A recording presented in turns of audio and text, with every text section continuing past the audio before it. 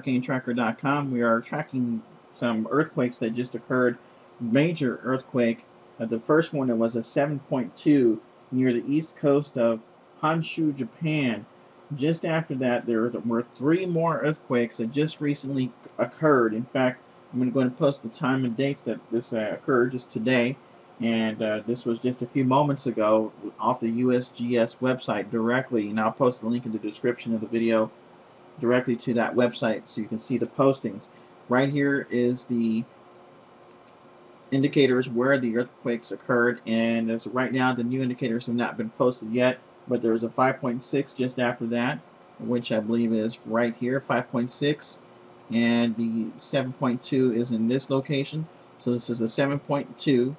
Again, this is near the east coast of uh, Honshu, Japan, and this is a these are underwater earthquakes. These are the major underwater earthquakes. Just after that was a 5.6, and after that was a 5.2, and just moments after that, 5.0. So we're watching this area very closely because of the fact that this is one earthquake after another. So this is uh, very interesting information and news. We're going to continue to keep you posted if any more occurs. Please uh, check this out with MrHurricaneTracker.com and right here on YouTube.com slash MrHurricaneTracker. Thank you very much for watching. Please rate, subscribe, and comment, and stay tuned for the latest.